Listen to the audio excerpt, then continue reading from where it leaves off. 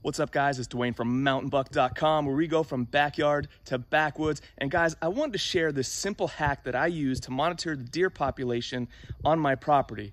Now, just a caveat, it's only going to work if you have Wi-Fi. So if you have Wi-Fi at your house and you kind of check deer out in your backyard like I do, uh, this is, might work for you. It's a pretty cool trick. So just to give you an idea of the setup I've got going on, check this out.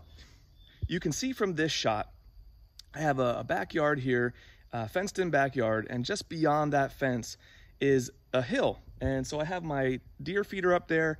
What's nice about this is I could sit in my living room on the couch. I watch TV over here. I turn to my left and I see the, the deer rolling in and check out. You know, I could check them out all the time, which is really nice to see.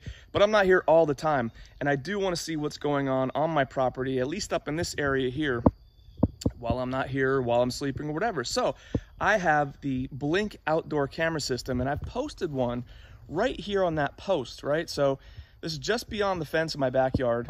So it's probably about 20 yards or so from my house, shooting up at that deer feeder there and I get to see all kinds of stuff. And what's nice about it is I check it while I'm at work. I check it when I wake up in the morning. I just want to see what kind of deer and other animals have rolled by here in this area and then, you know, obviously go up and hunt them at some other time. So what I use are the Blink outdoor wireless cameras. Now these connect to Wi-Fi.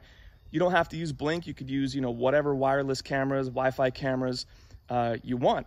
Um, so the thing is, it's a little bit out further from my house and the Wi-Fi connection might not be ideal. So the other item I've got is the is a Wi-Fi extender. Just gonna extend the range of my Wi-Fi a little bit. So I use the Eero system. So I have an Eero Wi-Fi set up at my house.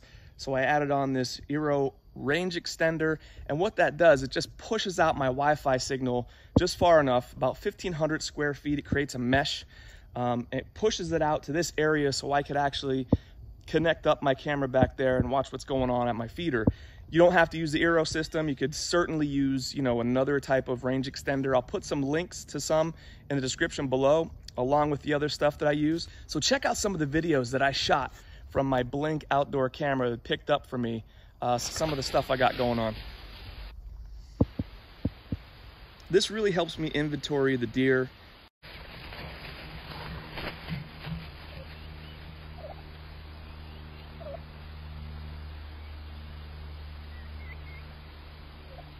It's also nice to document some big gobblers that I have coming in.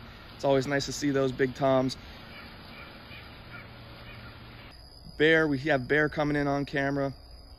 And the nice thing about this blink camera is it also has pretty good night vision. Check these shots out.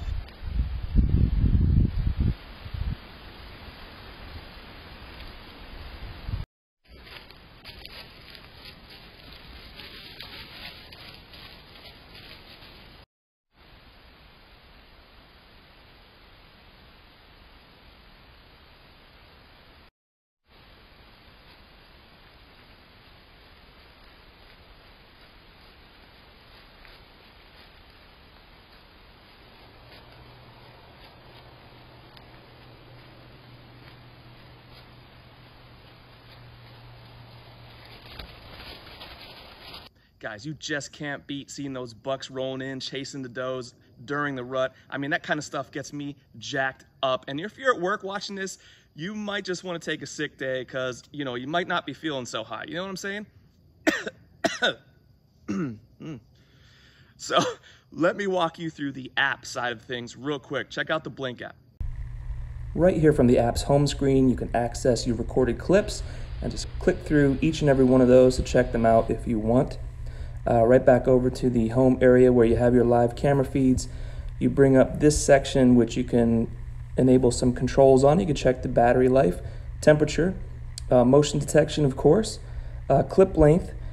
Uh, you could also check out the quality of your Wi-Fi and connection to the sync module. So there's a lot of stuff in here, some night vision and other things like that. So a lot of things you can kind of configure the way you want to on your camera. So that is how I keep an eye on my deer population while I'm away or sleeping or whatever. Really quick and easy system to use.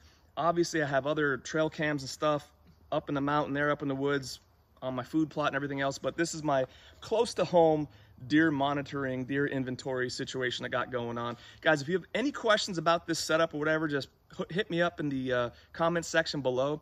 As always, the links to the items we talked about are in the description below. Hook me up and hit subscribe, guys.